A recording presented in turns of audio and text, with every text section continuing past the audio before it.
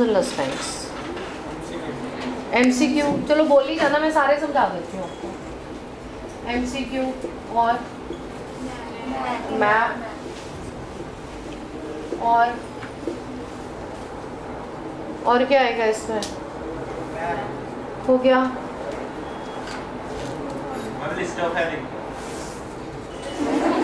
भाई साहब वो रीडिंग है आपकी। पहले रीडिंग लिस्टिंग तो डिफ्रेंशिएट करो। क्या हो गया? गुड मॉर्निंग और क्या है? चलो next class I be picking up the tips of readings और क्या है लिसनिंग्स में? क्या प्रॉब्लम आती है? Choose three out of okay तो फिर तो कुछ बचेगा ही नहीं. सारा ही समझाना पड़ेगा मुझे. Now i'll tell you a very strong general tip. I'll be picking up these two also with you. Listening क्या चीज़ है? कितने क्वेश्चंस हैं आपके पास? 40 questions you have 40 questions. 40 questions means सारे क्वेश्चंस करने हैं there is no negative marking you have to take all the questions and just tell me how do you do the listenings आप लोग लिसनिंग करते कैसे हो? वो तो मुझे पता है हेडफोन लगा के करते हो। कैसे करते हो? क्वेश्चन पढ़ते रहते हो और उसको सुनते रहते हो? क्वेश्चन का कीवर्ड मार्क करके फिर आगे चलते हो। I tell you one thing listening is a backward process listening कभी आगे नहीं चलती। हमें लगता है कि वो बोल रहा है और आगे आगे चल रहा है। लिसनिंग आगे नहीं चलती। लिसनिंग हमेशा पीछे चलती है। इट्स अ बैकवर्ड प्रोसेस क्योंकि जो बात उसने कही है वो बात वो तीन चार क्वेश्चन के बाद फिर से कहेगा। He will definitely repeat it suppose see question number one two three four five you have missed out question number five और थ्री आपका क्वेश्चन नंबर थ्री अगर छूट गया है तो by the time you reach to question number five और six you will find the answer of question number three it's a guarantee provided आप three को मार्क कर लो कीवर्ड को और उसके आगे हल्के से नोट्स बना लो। क्योंकि उसने बात को रिपीट करना है। The thing is going to be repeated what is the most important thing for a student? That to score 40 out of 40 40 में से 40 कैसे आते हैं? और आपने रिजल्ट्स देखे हैं। लिसनिंग में हमारे 9 में से 9 स्कोर आता है। 8.5 टू 9 बच्चे लेके जाते हैं। कैसे आता है इसमें स्कोर कैसे आता है स्कोर अब तो सी थ्री में जाने वाले हो फाइनल क्लासेस में। कैसे आएगा स्कोर इसमें? नहीं पता। हाँ? Listening is something okay i'll ask you a more easy question. What disturbs you in listening? Listening में स्कोर कहाँ पे कम होता है आपका? कंसंट्रेशन कंसंट्रेशन कम होती है क्यों कम होती है? कहाँ से कम होती है वो? कंसंट्रेशन कम होने का कौन सी चीज़ है हमारे पास? हमारे पास हमारा फ़ोन है। Phone is the only thing which spoils your concentration whether it is on vibration चाहे वो वाइब्रेशन पे है या वो साइलेंट पे है। साइलेंट पे है तो उसकी लाइट जलती है। वाइब्रेशन पे है तो आप एक बार देखते तो वो किसका आया है। देखते हो कि नहीं? देखते हो। तो उससे क्या होता है? What happens with that it is a very common saying for listening कि अगर फ़ोन आ जाए तो दो क्वेश्चन छूट जाएँगे। अगर ख्याल आ जाए कि उसका फ़ोन क्यों नहीं आया तो चार छूट जाएँगे। इट्स अ गारंटी आप लिसनिंग करते करते सोच लो, पता नहीं कितने चली गए फ़ोन ही नहीं किया तो चार गए। जब भी आपने लिसनिंग प्रैक्टिस करनी है ना kindly keep your phones away class में भी आप लिसनिंग करते हो, जब आपको लगता है कि आज मेरी लिसनिंग अच्छी नहीं हुई। Don't check the answers answers check मत करना। मैम को बोलो, दोबारा लगा दे, वो लगा देंगे आपको। वही लिसनिंग दोबारा करो। Now I tell you the technique how can you touch forty out of forty ये मैप्स वगैरह तो मैं आपको एक्सप्लेन कर देती हूँ। आप लोग के सबके पास लिसनिंग की कोई ना कोई बुक तो पड़ी हुई है। मटेरियल भी है आपके पास। नहीं है तो मिल भी जाएगा उसका। पिकअप वन लिसनिंग ध्यान से सुनना। एक लिसनिंग पकड़ो, उसको पूरी कर लो फोर्टी क्वेश्चन कर लो। करने के बाद डोंट चेक द आंसर्स उसके आंसर्स चेक मत करना। आफ्टर वन आवर और two hours repeat the listening वही लिसनिंग दोबारा करो। ठीक है, जब आप उसको दोबारा करोगे, फिर भी आंसर्स मत चेक करना। ध्यान से सुनना what I am saying then also don't check the answers फिर आप वही लिसनिंग थर्ड टाइम पकड़ो उसको करो और देन चेक द आंसर्स अगर आपका क्वेश्चन ऐसे चल रहा है सपोज़ ये देखो, एक क्वेश्चन है, तीनों बार ठीक हो गया।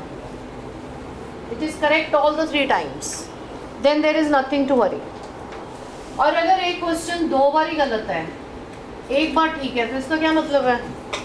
क्या तुक्का लगा है? जेनविनली गलत है। कई बार तुक्के भी लगते हैं ना थोड़े। तुक्का लगा है।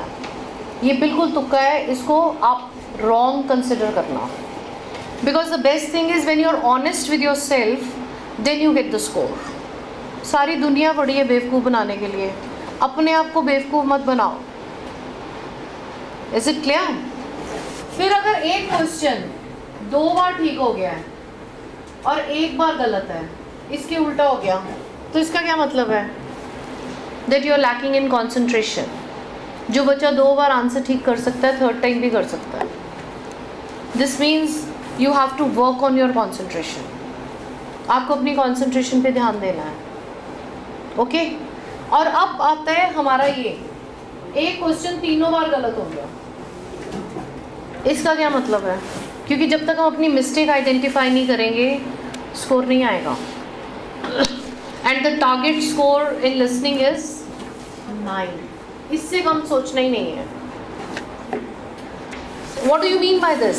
If a question number let's pick up question number 30 35 तीनों बार गलत है हमारा। कंसंट्रेशन की तो प्रॉब्लम नहीं है। किसकी प्रॉब्लम है फिर? This is a problem of linguistics you are unable to understand the word आपको वर्ड ही नहीं समझ आ रहा। कि उसकी प्रोनाउंसिएशन ही समझ नहीं आ रही। जब उसकी प्रोनाउंसिएशन समझ नहीं आती तो आंसर गलत हो जाता है। ऐसी जगह पे आपने क्या करना है? सीडी को स्टॉप करो, उसको दोबारा सुनो ट्रांसक्रिप्ट पढ़ो और उसको सुनो वेयर इज़ द मिस्टेक कि उसने क्या बोला है और आपको क्या सुनाई दिया है। Because it's a foreign language हम लोग इतने यूज़ टू नहीं है उस वर्ड्स के। Like this is a word ये देखो। ये कौन सा वर्ड है? वो आंटी जी तो पार बोलेगी नहीं। पावर तो बिल्कुल भी नहीं बोलेगी। शी इज़ गोइंग टू से पा दे वॉज़ अ पा कट आप सोचोगे, पता नहीं कौन सा कट तो वो गलत हो गया। ऐसे ही होता है ना? तो this problem you identify this problem and mark it down आपके एक क्वेश्चन ऐसे कितनी बार गलत होते हैं। बिकॉज़ लिसनिंग्स में pronunciation is always repeated sorry and when you are clear with the word R की प्रोनाउंसिएशन ही नहीं है. देर वॉज़ अ पा cut now the students think which cut was it the cat was under the table आप सोचोगे पता नहीं what was under the table ना तो उसने टेबल बोलना है ना उसने कैट बोलना. है कैट है ये. ये देखो. C is equal to half K, A plus T is giving a voice of half H. Cat. Table. So we have to be used to of these pronunciations and I'm not going to tell you कि बहुत English movies देखो ये देखो वो देखो nothing. The purpose is to clear IELTS in one month or two months maximum. तो उसके लिए आप listening को repeat करो. Is this pattern clear? अब ये करना कब है the students those who are having a score somewhere between ये देखो 25 टू 30 इतने तो हैं ना बच्चे हमारी क्लास में? 25 तक तो ले रहे हो? एवरीबडी 25 टू 30 जो बच्चे हैं ना, वो हफ़्ते में दो दिन करेगा बस। Just two days a week and you will realise कि हर बारी में फाइव का इंक्रीमेंट है। अगर फ़र्स्ट टाइम आपने करा है ट्वेंटी फाइव है सेकेंड में थर्टी हो जाएगा, फिर थर्टी फाइव हो जाएगा। It is a guarantee I am giving you every time the score will be increased by 5 to 7 and the students those who are with 33 34 वो हफ़्ते में सिर्फ़ एक दिन करें। They do it just once a week and their score will be 40 out of 40 is it clear कोई doubts हैं यहाँ पे? हाँ today is Tuesday I will be asking you on Friday Friday I ask you whether you have done and what is the report you have two three days with you करके देखना उसके बाद discuss करेंगे कि score आया या नहीं आया I want all my students to be in the category of nine ठीक है इसके बाद एक छोटी सी मिस्टेक बच्चों को और आती है वो है स्पेलिंग्स स्पेलिंग्स गलत हो जाते हैं आपके तो उसका क्या ऑल्टरनेटिव है हमारे पास? जो स्पेलिंग गलत होता है, आप उसको दो तीन बार लिखो। डबल एस वाले गलत होंगे डबल ई e वाले गलत हो गए आई वाले गलत हो गए सुनने में गलती लग गई तो वो spellings you have to write it down otherwise there is a list of spellings at the back of your books उनको लर्न कर लो। बिकॉज़ स्पेलिंग के कोई नोट्स नहीं है। Spelling is something with the practice you have to I mean understand कि इसको लिखना कैसे है। Is this general part of listening clear just tell me yes और नो पक्का?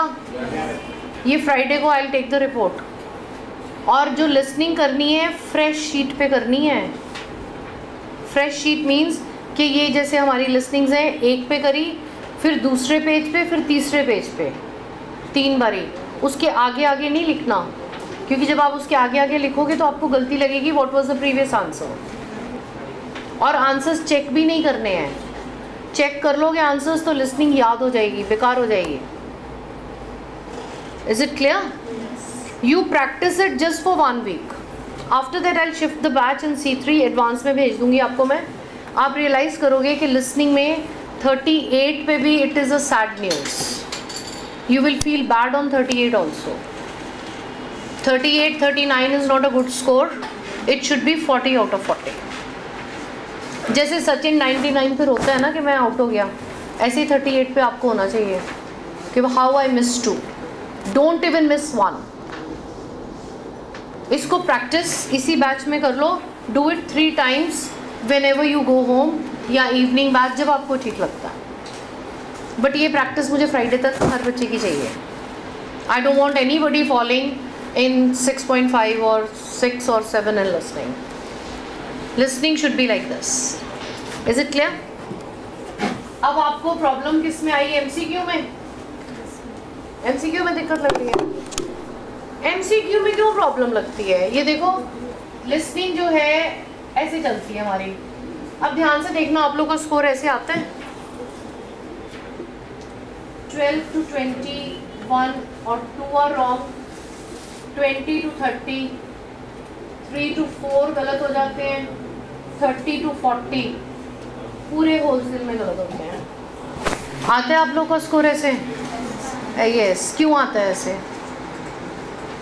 Why the score is like this ये वाला पोर्शन होता है मैप्स का और एमसीक्यू का. स्टार्टिंग होती है introduction now when you are starting with the listening remember one thing your energy level has to be appropriate starting में आपकी एनर्जी ज़्यादा होती है, उसकी स्पीड कम होती है। धीरे धीरे आपकी एनर्जी कम हो जाती है, उसकी स्पीड तेज़ हो जाती है। आप ऐसे लगाते हो, फिर धीरे धीरे लेटना शुरू हो जाते हो। बोली जा बोली जा, एक निकल गया, दो निकल गए, जाने दो।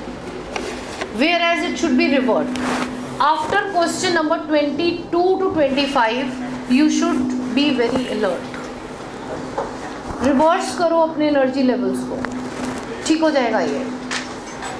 जैसे मिल्खा सिंह गोल के पास आके भागता है ना, अगर वो पहले से भागेगा तो हार जाएगा।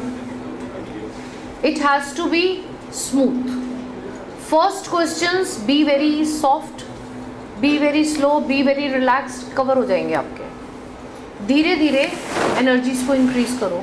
ये गलत नहीं होगा। और क्लास में भी जिस दिन आपको लगता है कि आज मेरी लिसनिंग अच्छी नहीं हुई टीचर आंसर डिक्टेट कर रहा है डोंट चेक द आंसर्स बाहर चले जाओ मैम को मना कर दो। वो लिसनिंग दोबारा रिपीट होगी। थोड़ी देर बाद होगी। बट अगर आंसर चेक करके करोगे तो बहुत मुश्किल होगी। इज़ इट क्लियर ये एनर्जीज को ऐसे डिवाइड करो। फिर मैप को कैसे करना है? एमसीक्यू कैसे करने हैं आपने? How are you going to handle MCQ MCQ सबसे इजी होते हैं। ये क्वेश्चन है, ये ऑप्शंस हैं। अब क्या करते हैं? इसमें क्या होता है? What happens with this what is the problem in MCQ वो आंटी जी सारी ऑप्शंस बोलती है। गुस्सा आता है ना बड़ा? आना भी चाहिए। देखो, ये सारी ऑप्शंस वो बोलेगी बोलेगी। आपने क्या करना है? You have to pay attention to the keyword आपने जो आंसर ढूंढना है क्वेश्चन टू ऑप्शन जाना है। आपका ध्यान क्वेश्चन पे चाहिए। आपका ध्यान ऑप्शन पे चला जाता है। ऑप्शन पे जाता है ना? तो ऑप्शन से जब आप क्वेश्चन पे जाओगे तो वो गलत हो जाएगा। बिकॉज़ वो तो सारे ही बोलने हैं उसको। जैसे अब ये कह रही है सपोज़ एक लिसनिंग है आपकी। ये क्वेश्चन कीवर्ड है। ये ऑप्शंस हैं। अब यहाँ पे उसने फिशेस के बारे में बात कर रही है तो यहाँ पे है सम यहाँ पे some some of few none अब हमने सम को सम के साथ मिलाना है। वो कहते हैं some fishes in Australia they prefer to live in cold water but few of them they are still living in hot water Mediterranean sea is also very popular for few of the fishes living over there अब आप तो confuse हो गए fishes fishes fishes आपने confuse नहीं होना। आपने ये कीवर्ड से यहाँ पे आना इज़ इट क्लियर आप करके देखना, कभी गलत नहीं होगा ये। जब आप यहाँ से यहाँ जाओगे ना, वो गलत हो जाएगा। ऑप्शन सुन के क्वेश्चन पे नहीं जाना। क्वेश्चन सुन के ऑप्शन पे आना। और रेस्ट अगर आपको लगता है कि तीन दो, तीन चीज़ें बिल्कुल ही नहीं मिलती क्वेश्चन से, उसको एलिमिनेट करो एलिमिनेशन थ्योरी पे आ जाओ। Is it clear is everything clear any other doubts fine ठीक है। और मैप मैप भी बोला था आपने कि डिफ़िकल्टी है। मैप कैसे करते हो आप? जब भी मैप का क्वेश्चन आता है ना, ये डायरेक्शंस बना दो। जैसे भी वो बोलता है, अपनी पेंसिल वैसे वैसे चलाई जाओ, ऐसे ऐसे। Wherever he stops that is an answer the plane was going above the sky. It was below, before, in between, underneath. ये सब डायरेक्शंस इसमें हैं। अगर आप अपनी पेंसिल हटा दोगे तो आपको आंसर नहीं मिलेगा। Answer will be always with the directions. Is it okay? Comfortable?